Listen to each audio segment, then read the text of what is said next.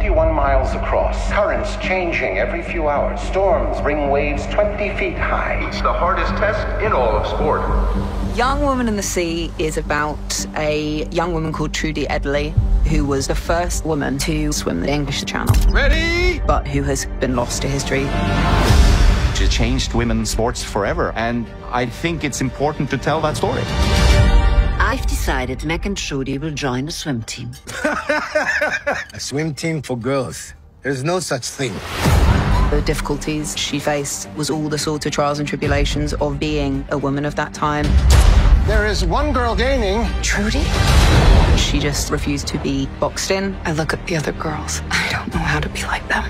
Puts in a lot of effort and starts winning absolutely everything. Your daughter Trudy has the record in 200 meters.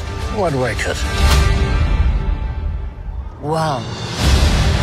Ultimately, she realizes this actually means more to people than even she could understand. Her determination to overcome what she did was magnificent. Keep going! It is that incredible determination and ambition that is unstoppable. The theme of the film is there's nothing that's impossible. It's the ultimate underdog story.